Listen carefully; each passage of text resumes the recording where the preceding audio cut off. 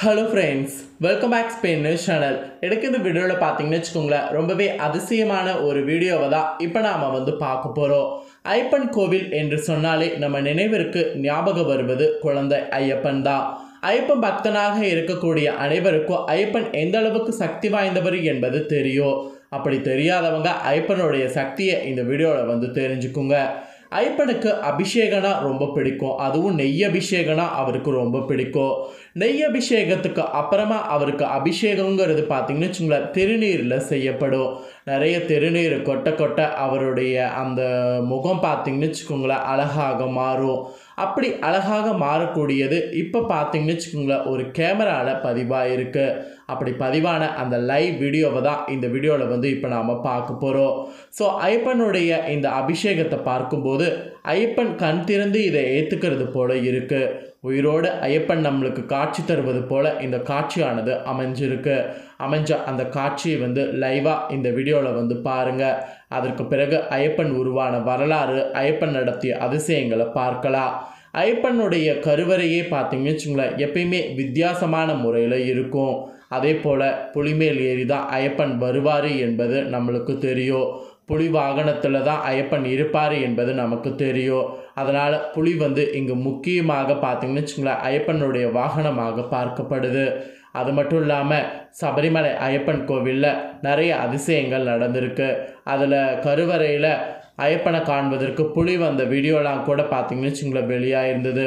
அந்த மாதிரி ஐயப்பன் இருக்கக்கூடிய ஒரு சன்னிதானத்தில் ஐயப்பனுக்கு நடக்கக்கூடிய அபிஷேகத்தில் ஐயப்பன் கண் திறந்து அபிஷேகத்தில் காட்சி தரக்கூடிய வீடியோ தற்போது கிடச்சிருக்கு.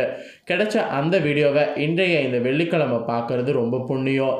முதல்ல அந்த வீடியோவை வந்து பாருங்கள் அதுக்கு பிறகு பார்த்தீங்கன்னு வச்சுங்களேன் ஐயப்பன் உருவான வரலாறு ஐயப்பனுடைய முக்கியத்துவத்தை இந்த வீடியோவில் வந்து பார்க்கலாம். இப்போ ஐயப்பன் பார்த்தீங்கன்னு சொல்ல அந்த திருநீரை கொட்ட கொட்ட நார்மலாக ஒரு மனிதன் உட்காந்து எப்படி அதை ஏற்றுக்கணுமோ அதே போல் இந்த வீடியோவில் வந்து தெரியுது. இதை பார்த்த அத்தனை பேருக்கும் ஐயப்பனுடைய புண்ணியம் வந்து கிடைச்சிருக்கோ.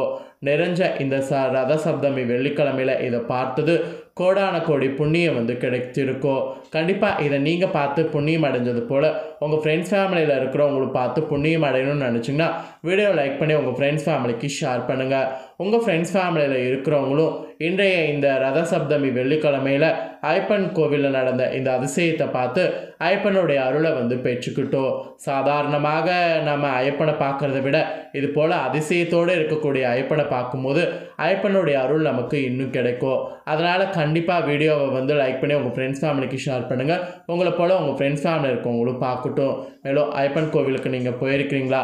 அப்படி போயிருந்தால் ஐப்பன் உங்களோட வாழ்க்கையில் ஏதாவது அதிசயம் இருந்தாலும் கீழே கமெண்ட் பண்ணுங்கள் அப்படி இல்லைனா ஐப்பனே போச்சு அப்படின்னு கமெண்ட் பண்ணுங்கள் அந்த மாதிரி கமெண்ட் பண்ணும்போது ஐப்பனுடைய அருள் உங்களுக்கு பரிபூர்ணமாக கிடைக்கும். பொதுவாகவே ஐயப்பன் பார்த்தீங்கன்னு வச்சுக்கோங்களேன் அருள் பல அருள்பவன் என்று குறிப்பிட்டு சொல்லலாங்க. புளிய வாகனமாக கொண்டவர் இவர். தவக்கோலத்தில் சபரிமலையில் அமர்ந்து அருள் பாலித்து வரக்கூடிய அருட்கடலில் இவருடைய பெருங்கடல் என்று சொல்லலாம். மகிஷாஷி என்ற அரக்கிய வதம் செய்ய அவதரித்தவர் தான் ஐயப்பன். ஐயப்பன் வரலாறு பற்றி பலவிதமாக கூறப்பட்டாலும் ஐயப்பனுடைய மெயின் வரலாறு இதுதான் என்று குறிப்பிடப்படுது.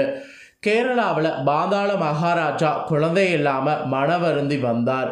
அந்த சமயத்தில் மகிஷாஷி என்ற அரக்கி ரிஷிகளை துன்புறுத்தி வந்தாள். அவர்களுக்கு உதவ சிவனுக்கும் விஷ்ணுவுக்கு பிறந்தவர்தான் ஐயப்பன். விஷ்ணு மோகினியாக மாற சிவனுக்கும் மோகினிக்கும் அதாவது மோகினி அவதாரத்தில் இருக்கக்கூடிய விஷ்ணுவுக்கும் ஐயப்பன் வந்து பிறந்திருக்கிறாரு. குழந்தையாக பிறந்த ஐயப்பனை மரத்திற்கு அடியில் விட்டுவிட்டு சென்று விட்டனர். அரியும் விஷ்ணுவும் தெய்வ செயல்கள். இந்த மாதிரி நடக்கும் அப்படிங்கிறதுக்காக தெய்வ செயல்கள் அனைத்திற்குமே ஒரு காரணம் உண்டல்லவா? பக்திமானான பாந்தாள மகாராஜாவின் பிள்ளையில்லா குறையை தீர்க்கவே பரந்தாமனும் பரம்பொருளும் குழந்தையை அங்கே விட்டு சென்றனர் என்பதுதான் நாளடைவில் புராணத்தில் தெரிவிக்கப்படக்கூடிய உண்மை. வேட்டைக்கு வந்த பாந்தாள மன்னன் குழந்தையுடைய அழுகுரல் கேட்டான்.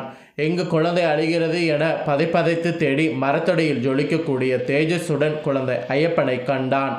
ஆண்டவா என் குழந்தையில்லா குறை தீர்க்கவே இந்த குழந்தை இங்கு இருக்கிறதா என மகிழ்ந்து அக்குழந்தையை எடுத்து அரண்மனைக்கு கொண்டு சென்றான். அரசையும் மட்டில்லா மகிழ்ச்சி அடைந்தாள் இருவனும் இறைவனுக்கு நன்றி செலுத்தினர். இருவரும் இணைந்து குழந்தை கண்ட அனைவரும் சொக்கி போனார்கள். ஜோதிடர்கள் இந்த குழந்தை தெய்வம்சம் பொருந்திய குழந்தை என கூறினர். கழுத்தில் மணியுடன் பிறந்ததால் குழந்தைக்கு மணிகண்டன் என்று பெயரிட்டு பெயரிடலாம் என்று முடிவு செய்து மணிகண்டன் என பெயரிட்டு அன்போடு பாராட்டி சீராட்டி வளர்த்து வந்தனர் அந்த மன்னர்.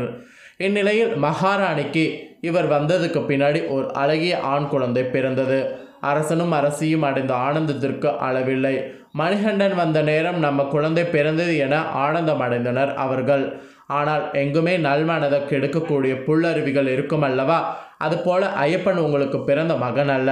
ஆனால் அவனையே தலைப்பிள்ளை போல் சீராட்டி வளர்க்கிறீர்கள். அதனால் அடுத்த மன்னனாக அவன் வரவே வாய்ப்பிருக்கிறது. உங்களுக்கு பிறந்த குழந்தைகளுக்கு வேறு யாரோ எப்படி அரசனாவது என அரசியின் மனதில் நஞ்சை கலந்தனர் சில பேர் அங்கு. தீய போதனைகளால் அரசியும் மாறினாள் தன் வயிற்று வலியால் அவதிப்படுவதாக பொய்யுறுத்தாள். அரசவை வைத்தியரை புலிப்பால் கொடுத்தால் மட்டுமே தன் வயிற்று வலி தீரு என கூறி வைக்கிருக்கிறாள் ஐயப்பன் அறிய மாட்டானா இந்த உண்மையை? தாய்க்கு புளிப்பால் கொண்டு வர காடு நோக்கி புறப்பட்டான். வழியில் அரக்கி மகிஷாசுனை ஐயப்பனை தடுத்தாள். வில்லெடுத்தான் வில்லனின் வீரன். வதம் செய்தான் மகிஷாசுரனை.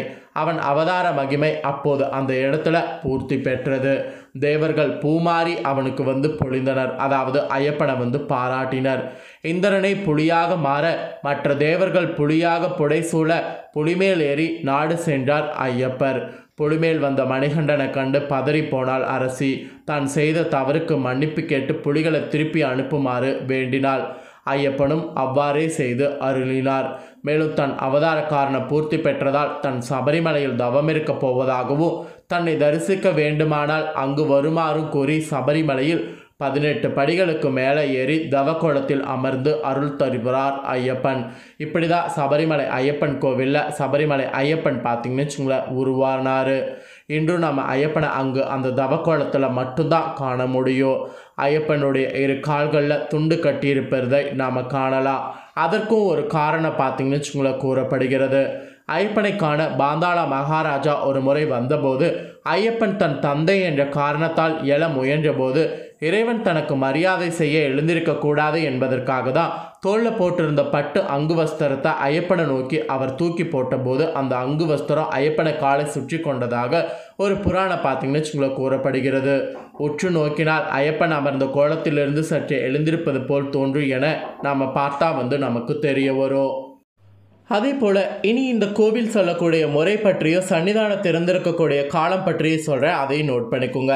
மற்ற கோவில்களில் போல் சபரிமலை ஐயப்பன் கோவில் வருடம் முழுவதும் திறந்திருக்கப்பட்டிருப்பது கிடையாது. ஒவ்வொரு மலையாள மாதத்தின் கடைசி நாள் மாலை பார்த்தீங்கன்னு வச்சுக்கோங்களேன் ஐந்து மணிக்கு கோயில் நடை திறக்கப்பட்டு மலையாள மாதத்தின் ஐந்தாவது நாளன்று நடை சார்த்தப்படும். ஆண்டுதோறும் நடைபெறக்கூடிய மண்டல பூஜை மகர ஜோதி பூஜைகள் எங்கள் விசேஷமானவை. அது தவிர வேறு எதுவும் பார்த்தீங்கன்னு வச்சுக்கோங்களேன் பெருசாக எங்கள் பூஜைகள் பண்டிகைகள்னு நடக்காது. ஆனால் அப்போவே வந்து பயங்கரமான கூட்டங்கள் வந்து வரும். ஆக மொத்தம் சபரிமலை ஐயப்பன் வந்து சாதாரணமாக தோன்றின ஒரு குழந்தையாக இருந்து அதுக்கப்புறம் கடவுளாக வந்திருக்கிறாரு. அவருடைய இந்த புராண கதை மூலியமாகவே அதை நாம் வந்து தெரிஞ்சுக்கலாம்.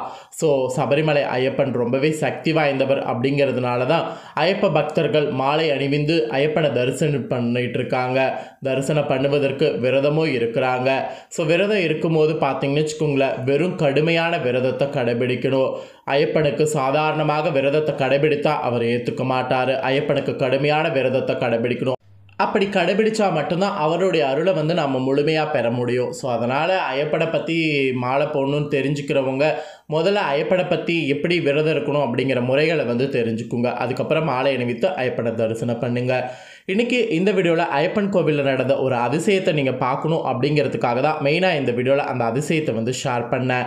ஷேர் பண்ணதை கண்டிப்பாக அனைவரும் பார்த்துருப்பீங்க. பார்த்து அத்தனை பேருக்கும் ஐயப்பனுடைய அருள் கிடைச்சிருக்கும் நான் நம்புகிறேன் இந்த வீடியோ ஃபஸ்ட்டே சொன்னது போல் உங்கள் ஃப்ரெண்ட்ஸ் ஃபேமிலியில் இருக்கவங்க பார்க்கணும் அப்படின்னு நினச்சிங்கன்னா வீடியோ லைக் பண்ணி உங்கள் ஃப்ரெண்ட்ஸ் ஃபேமிலிக்கு ஷேர் பண்ணுங்கள் உங்கள் ஃப்ரெண்ட்ஸ் ஃபேமிலியில் இருக்கிறவங்களும் ஐயப்பனுடைய இந்த வீடியோ பார்த்து அவங்களும் ஐயப்பன் ஐயப்பனுடைய அருளை பெறட்டும். மேலும் இதே போல் புதிய அப்டேட்டான வீடியோக்களை தெரிந்து கொள்ள மறக்காமல் நம்ம சேனலை சப்ஸ்கிரைப் பண்ணுங்கள் சப்ஸ்கிரைப் பண்ணாமல் இருந்தீங்கன்னா சப்ஸ்கிரைப் பண்ணி பெல் பண்ண ப்ரெஸ் பண்ணிடுங்க ஆல் அப்படிங்கிற ஆப்ஷன் இருக்கோ அதை ப்ரெஸ் பண்ணுங்கள் அப்படி பண்ணிங்கன்னா நான் இனி போடுற அப்டேட்டான மற்ற எல்லா வீடியோக்களும் உடனுக்குடனே தெரிந்து கொள்ளலாம்.